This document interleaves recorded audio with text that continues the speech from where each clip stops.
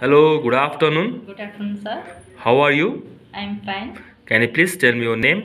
My name is Sunita Khatri Thapa, Where are you from? Chitwan, Nepal. How old are you? 30 years old. Are you married or single? I am married. Do you have any children? I have one children. What is your religion? Hindu. What is your academic qualification? 12 pass. Do you have any habits like drinking or smoking? No, sir. What work experience do you have?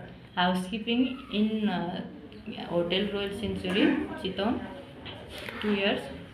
Okay, what job responsibility do you have there? Clean the room.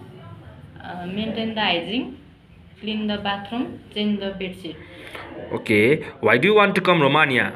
I want money um, and better future and fam- support my family.